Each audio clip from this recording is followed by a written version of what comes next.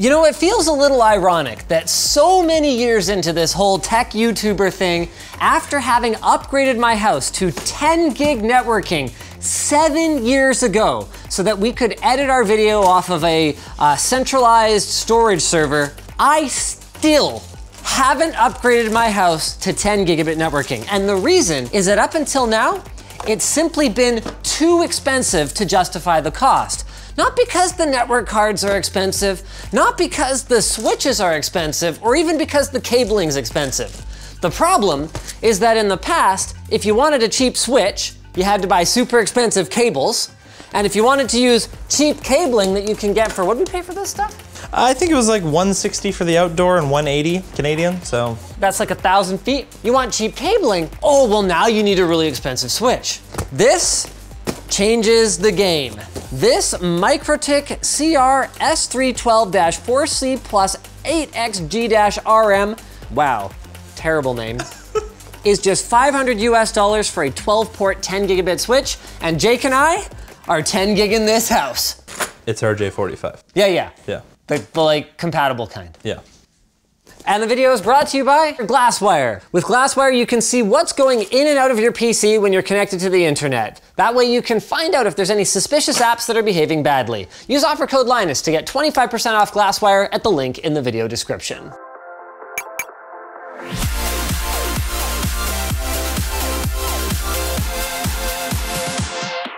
So in front of me is pretty much everything we're gonna need. We got our switch, we got our connectors, we got our crimper, because we might have to do some custom length cables here. Um, Ethernet cards. $10,000 Fluke tester. What? Yeah, so I asked the Fluke I didn't guy- pay for that, did I? No, you didn't. Um, They sent it to us just to borrow. I wanted to be able to actually certify the runs we do so we can make sure that 100% they're ready to go and they will be capable of 10 gigs. Certify the runs. Yeah, So just a pretty simple one gig switch, uh, PoE switch, so that handles my access point and soon to be my ring doorbell. Then we've got the two gaming desktops, NAS, and then a couple of UPSs. So do any of these Yeah. have 10 gig already?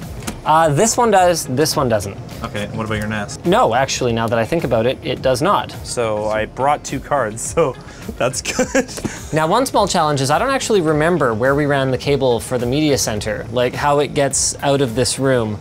Um, so we're probably gonna have to retrace our steps there because that is not a 10 gig rated cable. It was Cat 5e. We couldn't get Cat 6a that was outdoor rated easily or cheaply at the time. So because I didn't want to hardwire in a bunch of direct attach copper SFP plus cables, this switch's release was really the magic bullet that it took for me to finally go 10 gig. So it's a 12 port switch. You can see four of them are actually shared with these SFP Plus ports, but we don't have to use those. What's cool about this for like a budget home upgrade though, is that if you did have something resembling like a home server room like this, where you've got a couple of machines that are in close proximity, you can get SFP Plus network cards for super cheap. And the short run direct attached copper cables are actually not that bad. So if you already have some existing stuff built in, then you can decide, okay, I'll use, you know, these eight as ethernet only. And then these ones, well, hey, if I have some SFP plus gear, I can go ahead and plug this in. Now, we have never actually booted up this switch, and I'm not super familiar with MikroTik's equipment, but my understanding is this is a smart switch, isn't it? Smart switch? Yeah. Like managed? Yeah, managed Okay, switch, yeah. okay, yeah my camera operator and uh, Jake asked for some water. Oh and uh, maybe next time they'll bring a Linus Tech Tips water bottle, lttstore.com. This one's also insulated though. And yes, in fact, gigabit is gigabit, and no amount of having a 10 gig NIC in your machine is going to make that any faster than gigabit unless you also have a 10 gig switch. So we need to go ahead and get that installed. So let's rip that thing out. And it's gone. Rip. So what's funny about this is this is actually not that dissimilar to what we did for the water-cooled network switch project. One big plate with a heat pipe kind of carrying heat over to some kind of cooling element here. So in this case, we've got two 40 millimeter fans and uh, just kind of like a, that's a really weird heat sink, isn't it? Mm -hmm. That's not too loud. Ah, give her a second. Yeah, it's, it's audible. With that said, I think he also did clarify that um, it gets particularly loud under load, and we're not doing anything with it right now. To be clear, we're talking about Patrick from Serve the Home. Great guy, great site, Check all out. that stuff, yeah.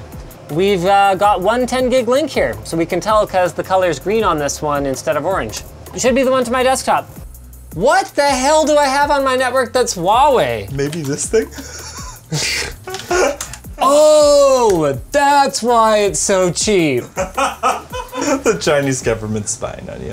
Huawei is an Android phone? Oh, that's right. My sister has an Honor phone. Do you think we have to go through the management port and turn on uh, the managed interface? Like, It should still show as a device on the network, like, unless it's well, like it doesn't. giving itself its own IP. Honestly, it doesn't matter anyway, does it? Because I'm going to use it as a dumb switch. Like, what? I I just want to transfer files faster between my computer and my NAS. Like, Okay. So then I need to shut off my NAS so that we can put a 10 gig card in it. So Jake is still trying to get into the management interface on this thing. Meanwhile, I'm gonna upgrade the server. Longtime viewers will probably recognize this as Old Wannick. Oh! Oh yeah, I'm coming out. Oh, my back. Oh! It's a Z390 Pro Asus workstation board with a um, 9900K. Uh, I forget how much RAM I put in it. I'm pretty sure it's 32 gigs of uh, I have more RAM in my NAS than yours. Ripjaws memory. Yeah, and but I, more cores. I'm actually not running any VMs though. or one VM, one VM. So I don't actually have any screws. Um, one moment, please. Look, we weren't using it. I know for a fact we weren't using it. Completely blocks all the airflow. So we've got two 10 gig clients now. Just need to, you know, Oh, Unraid. have it go. Yeah. It might not like auto do it. Oh no! You might want to plug it back in the regular one so we can reconfigure oh balls. it. Or maybe plug them both in. Yeah. Uh, Our status thus far, we have plugged in a network switch, have plugged things into the network switch, uh, okay, do you want to see if it's up? put a PCIe card in, and that's about it. Oh, yeah, there we go. Is that it right there? Yes. So yeah, we basically just need to kind of replace this run then. So the spot where Jake is, is basically just right on the other side of that wall. We went the super lame-o way, and uh, we just went right into the back with like an RJ45 connector. Now this is a Cat5e rated uh, plate here, so hopefully we're good without that. At any rate, I guess we're just gonna have to cut this off and pull it back through. Boop. Okay, go ahead and pull. Oh, there we go. Um, do you know where where does this go? Uh, that actually goes right up to that crawl space. Now seems like a good time to take a look at the differences though between Cat 5e and Cat 6a. So we know Cat 6a is rated for higher frequencies and therefore high, higher data rates, but what's the physical difference? Because the conductors themselves are both copper. They're all eight conductor twisted pair. Um, they're actually the same gauge. So it comes down to the way that the cable itself is designed. So aside from the sheathing, there's this plastic insert here. It's in like a cross pattern that keeps each twisted pair separate as it's running down the length of the cable. So that's why these will do 10 gig over 100 meters, whereas Cat 5e, you're lucky if it does 10 gig over like, I don't know, what, five meters, 10 meters? And I even then, I, I wouldn't recommend it. So is there any spots that are not safe to walk on? Uh, oh yeah. So if you want to go through my ceiling like a pro, then you you step in here without prior prior training. That's what Dennis did. Dennis put his foot through my through my garage ceiling.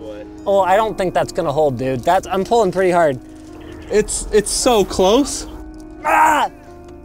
Oh, it disconnected. No, it just got through.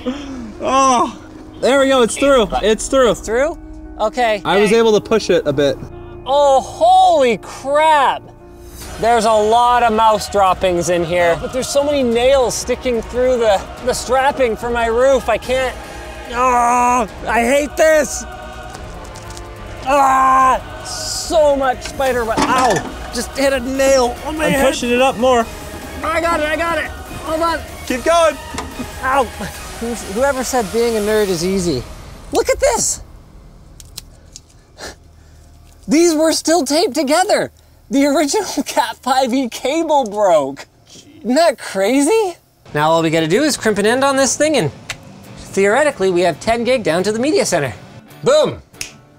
All three of our ethernet interfaces are working. So all we're gonna do is we're gonna just add all of our interfaces to bond zero, which is going to just use them all for failover. Uh, now, theoretically, I can unplug the one gig connection and we'll have 10 gig to the server. Uh, oh, nice underwear, by the way. LTTstore.com. Why do you why do you do this to me? This is the second time. All right, so now it's time to actually terminate one of our cables here. This Cat 6A is our outdoor spec UV resistant stuff. So it's got a really thick insulation. So you basically just put this on, spin it around. It's even got a hole for that. I'm totally doing this from the wrong side. There we go. And you don't actually even really need to pull off this much. This is like a, a lot of extra wire. You could you could get away with about two inches. So we're gonna start by peeling back our individual pairs. Take off the separator on the inside. Um, I'm actually gonna throw the boot on the end here. The first sort of step is to untwist them. We wanna actually use the butt of a screwdriver to straighten them out a bit, um, but we're gonna use the 568B spec so while we're lining up the, the colors how we want them to go into the connector, it's good to keep in mind that you need to keep it as clean as possible because we want the connector to be as close to the insulation as possible. And if it's all bunched up at the end there, you're not gonna be able to get a clean, snug fit. All right, so our Cat 6A cables, unlike Cat 5e, you can see inside there that there's holes for the connectors and they're actually staggered rather than just being a straight line like this.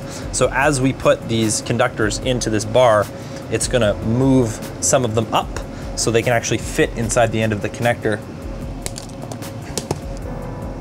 Make sure it's right up to the end. You should be able to see inside there, the bar will meet up with the plastic inside the termination. When you're ready, just crimp it shut and we're done. This time I've got seven gigs of test files. Let's go ahead and copy that over. Hey, not bad. This is only on a couple of RAID 1 uh, SATA SSDs, so that was higher than I was expecting, but also okay. I guess we good now. So that's it. Now that we've tested and we've got a good 10 gig connection down to the media center here, you might be wondering, why do you need 10 gig down there? Well, that's where our XG-U2008 switch comes in. This has two 10 gig ports and eight one gig ports. So the point of that is that you've got a 10 gig trunk and every one of the individual devices down here, whether it's an NVIDIA Shield or a smart TV or gaming PC or whatever the case may be, each device down here gets its own one gigabit connection, even if none of them are taking advantage of 10 gig. And of course, it's two 10 gig ports, so if I did get a gaming PC that was 10 gig, then I could always add that as well. We've got these couplers instead of the more typical uh, keystone at the back things. Looks like we got a 10 gig link, so now we just need to test it, like for reals, with our Fluke doodad. Jake, do we know how to use that thing? Uh, somewhat. it should be able to tell us whether or not this cable is ready for 10 gig base T. A pass, look at that.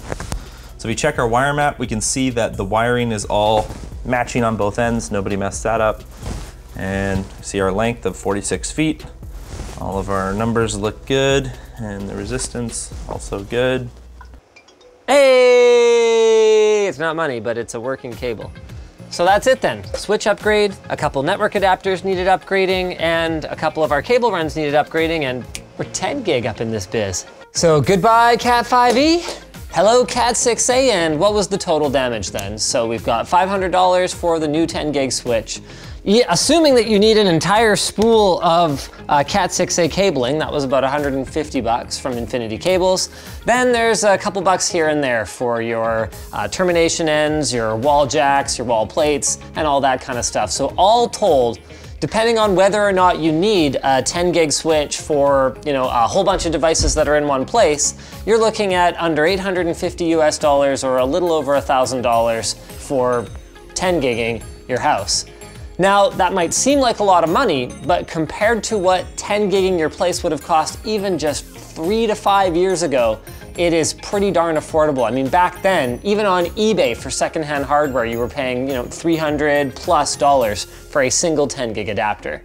Speaking of stoked, I'm stoked to tell you about our sponsor, Privacy.com. With Privacy.com, you don't have to worry about your credit card falling into the wrong hands due to a data breach. Privacy.com hides your true credit card number by creating virtual cards that are actually tied to the individual merchants that you shop at. Privacy.com is a free, easy to use service that prevents your credit card number from falling into the wrong hands. So instead of giving a merchant that you're shopping with online your real credit card number, you give them a virtual card that Privacy.com creates for you that's actually locked to that individual merchant. So if that merchant gets hacked, not only do they not get your real credit card number, you actually get a notification that that merchant's been hacked so you can shut off that virtual card. Cards are super easy to set up. You just need to create an account, link your virtual cards to your checking account or debit card, set a limit, et voila, you're all set. They've even got a browser extension that will autofill your information while you're shopping. Privacy.com is PCI DSS compliant, uses military grade encryption to secure your information, and they offer two factor authentication. And because they make their money from the stores you shop at instead of from you, Privacy.com is free. And if you go to privacy.com slash Linus, we're going to have that linked below. They'll even give you five bucks in credit to spend on your next purchase. That's privacy.com slash Linus. So hopefully you guys enjoyed this video. If you did, maybe you can check out our previous network run install video. We'll have that link down below and I will see you next time.